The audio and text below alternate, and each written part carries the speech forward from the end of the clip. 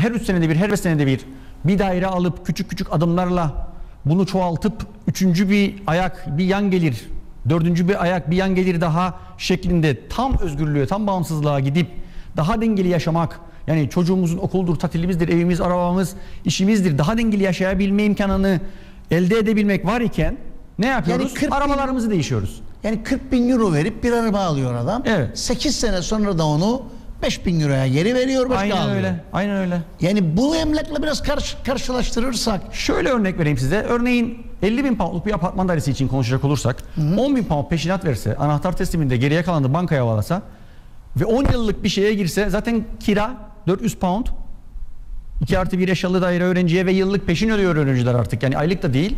Kendi kendini ödüyor. Yani bankaya alacağı borcu kendi kendini ödüyor. Sadece 10 bin poundla 50 bin poundluk bir daireyi satın alabiliyor.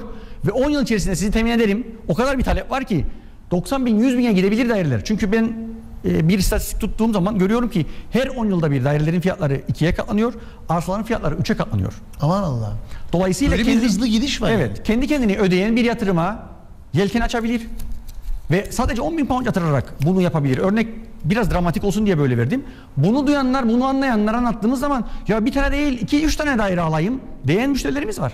Ve aklın yolu birdir. Bunu ben kendim, kendi yatırımlarım için, kendi adıma yapıyorum.